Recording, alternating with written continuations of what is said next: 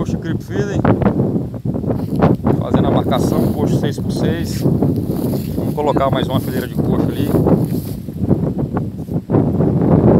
Posto de creep simples.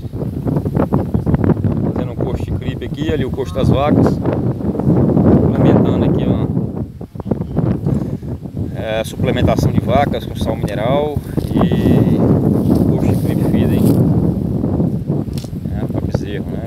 vacas que ficar próximo ao posto dos bezerros. Lá.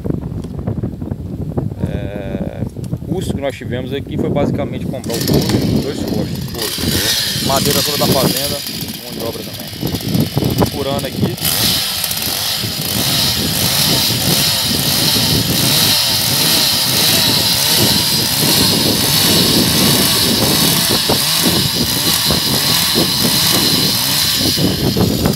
Thank